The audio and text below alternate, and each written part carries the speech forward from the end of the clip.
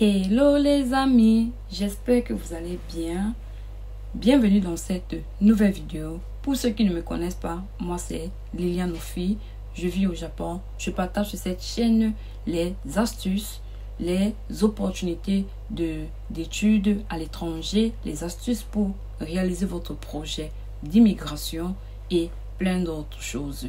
Alors, si c'est ta première fois que tu passes par ici, je te souhaite la bienvenue et surtout n'oublie pas de t'abonner. Pour toi qui es déjà abonné à cette page, je te souhaite également la bienvenue.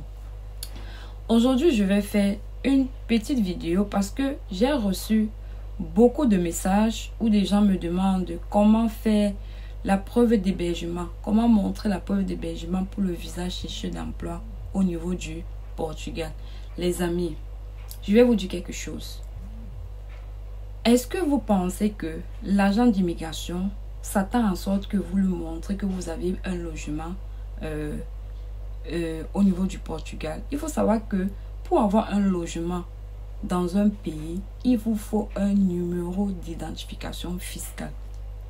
Étant donné que vous n'êtes pas résident de ce pays, comment allez-vous faire pour avoir cela, pour avoir un contrat de bail? Ce n'est pas possible. Vous voyez un peu, c'est pas possible. Vous voyez?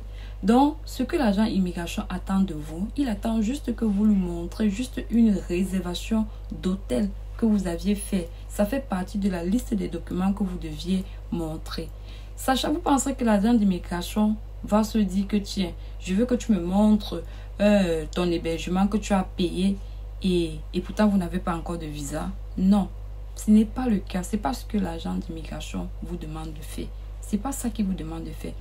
L'agent d'immigration veut juste que vous lui montrez une preuve que vous pouviez faire une réservation. En fait, c'est le document print out que l'agent d'immigration a besoin. C'est pareil si vous voulez même voyager euh, dans un autre pays.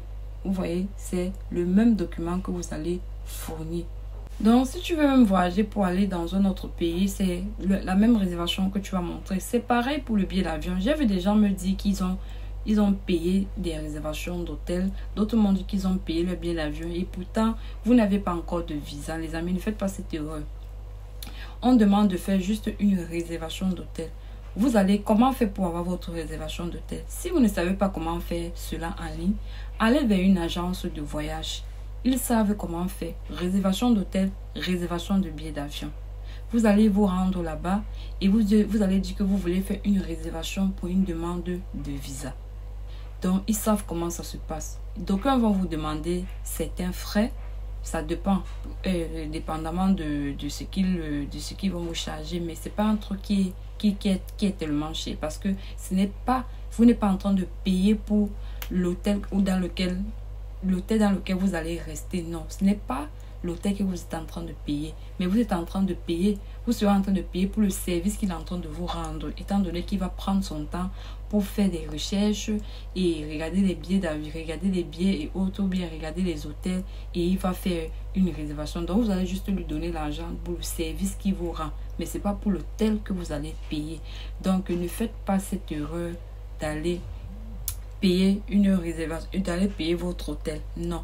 Vous allez juste vous rendre. Si vous ne connaissez pas comment le faire en ligne, allez vers quelqu'un qui sait comment le faire. Donc, vous n'avez pas besoin de toujours poser la question de savoir, je dois réserver sur 5 mois, sur 4 mois, sur 3 mois, sur... Non.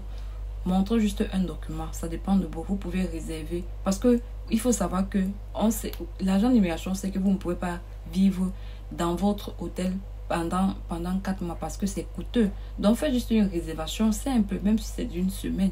Le temps d'arriver, c'est une façon de dire que bon, je réserve l'hôtel parce que les premiers jours que je vais arriver, je vais pas dormir, je vais pas dormir dehors. Mais au moins, j'aurai un endroit où je vais, je vais dormir. Vous montrez au moins ce que non, vous saviez le faire. C'est tout ce qu'il attend de vous. C'est pas qu'il il, il attend que vous puissiez lui montrer que non, j'ai payé mon hôtel quelque part. Non, non, non. Sur 4 mois, sur 5 mois, sur ceci. Non, c'est pas ce qu'on vous demande de faire, les amis.